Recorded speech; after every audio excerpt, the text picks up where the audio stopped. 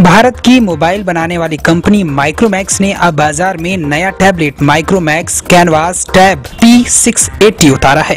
Micromax ने इस tab की कीमत नौ हज़ार चार सौ निन्यानवे रूपए रखी है।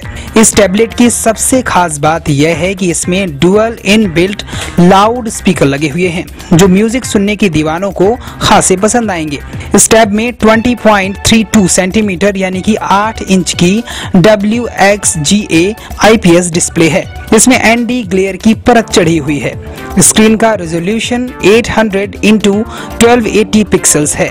इसमें 1.3 गीगाहर्ट्ज का क्वाड कोर प्रोसेसर है। जिसमें एक जीबी की रैम लगी हुई है।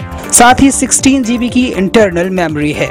जिसे माइक्रो एसडी कार्ड की सहायता से 32 जीबी तक बढ़ाया जा सकता है। यह एंड्रॉइड 5.0 लॉलीपॉप पर चलता है। यह माइक्रोमैक्स का पहला टैब है, जो लॉलीपॉप प्रणाली पर चलता है। इसके अलावा इसमें 5 मेगापिक्सल का प्राइमरी कैमरा है, जिसमें ऑटो फोकस लगा हुआ है। वह फ्रंट कैमरा दो पिक्सल है।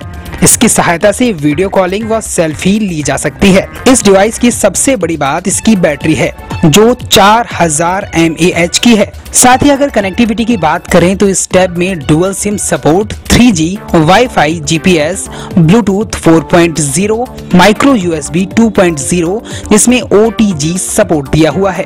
और 3.5 mm का ऑडियो जैक पोर्ट भी लगा हुआ है।